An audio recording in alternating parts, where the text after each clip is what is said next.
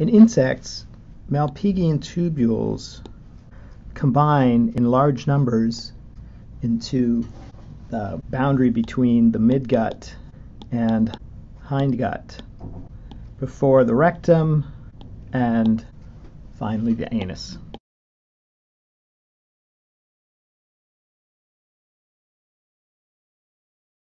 The structure of each Malpighian tubule includes a layer of epithelial cells with a basement membrane on the outside and a lumen on the inside. The epithelial cells along the boundary of the Malpighian tubule have narrow paracellular channels, not protein channels, but narrow gaps between them that are large enough to allow water and small solutes, but not large enough to allow proteins or large solutes. The mechanism to produce the filtrate works like this either sodium or more commonly potassium is pumped into the lumen.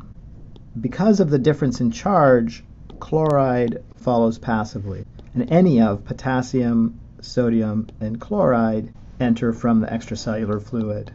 That creates a high concentration gradient. Therefore, water moves in through paracellular channels, moving into this area of high concentration, and the water carries with it small solutes that include wastes and valuable molecules. The combination moves down into the gut.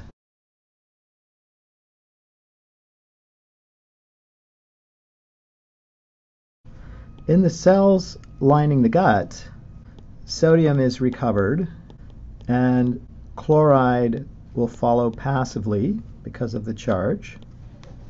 Potassium can also be recovered. The NKCC transporter moves in two chlorides, one sodium, and one potassium. So, regardless of whether sodium is the primary cation that's used to move solutes into the Malpighian tubules, or whether it's potassium, either sodium or potassium can be moved by the sodium potassium pump. Valuable solutes are recovered in the same way with the same transporters as in other animals. Wastes are left behind to be excreted. In an insect, often the primary nitrogenous waste is uric acid.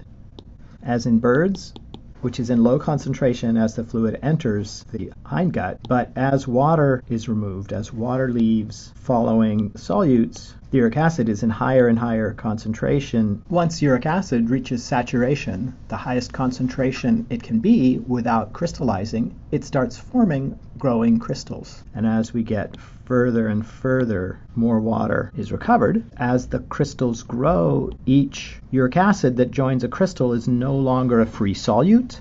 So the concentration of free uric acid never gets any higher.